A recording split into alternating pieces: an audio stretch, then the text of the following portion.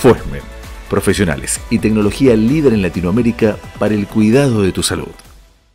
¿Sabías que Emergencias te ofrece planes de salud para toda tu familia y a un precio que podés pagar? Llama ahora al 0810-333-2280.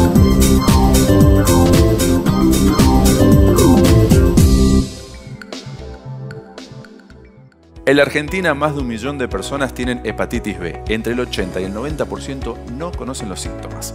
¿Querés saber qué es la hepatitis B? Presta atención. La hepatitis B es una enfermedad viral muy frecuente, principalmente de transmisión sexual. Se da más preferentemente en jóvenes y adultos que no tengan eh, sexo protegido probablemente, que es un tema fundamental a tener en cuenta. Y puede causar formas agudas de hepatitis, también puede pasar a la cronicidad en algún porcentaje de pacientes y hay unos pacientes que tienen una hepatitis B que es grave y que puede ser mortal y rápidamente progresiva y en pocos días al paciente ponerlo en riesgo de vida que se llama hepatitis fulminante por virus B. Si bien la principal de, eh, transmisión es la vía sexual, existen otras formas de transmisión que puede ser por contacto de sangre, métodos iatrogénicos en alguna intervención mal desinfectado, algún material quirúrgico.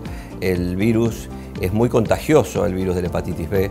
Es 100 veces más contagioso que HIV y puede vivir en sangre seca por una semana, es decir, si hay un material que se va a reutilizar, por ejemplo odontológico, y no está eh, bien esterilizado, puede contagiar el virus de la hepatitis. En un número importante de casos, la hepatitis B puede ser eh, asintomática.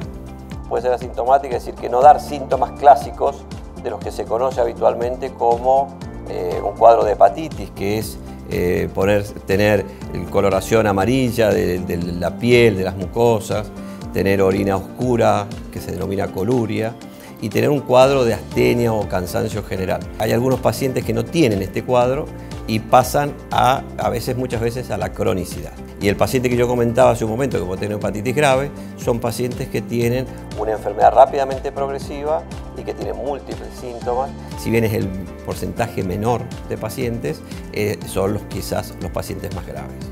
La hepatitis B, a pesar de ser una enfermedad eh, grave, la gran mayoría de los pacientes, el 95% de los pacientes se curan, independientemente del tiempo de evolución, probablemente dentro de los seis meses el paciente se va a curar de la hepatitis B.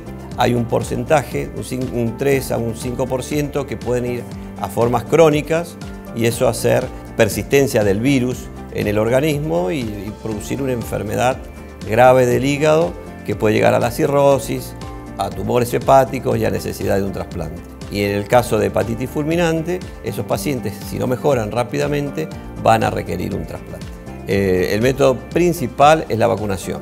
Hoy en día existe una vacuna muy segura, una vacuna sintética, que es de biología molecular, así que no hay riesgo de transmisión, que alguna gente no se quiere vacunar porque tiene riesgo de transmisión o sospecha que pueda tener riesgo de transmisión. Se hace esquemas eh, universales hoy en día toda la población tendría que estar vacunada y con eso se evita la transmisión del virus de la hepatitis B. Si las personas no están vacunadas y tienen parejas sexuales no eh, conocidas, tienen que usar preservativo. Eso es mandatorio.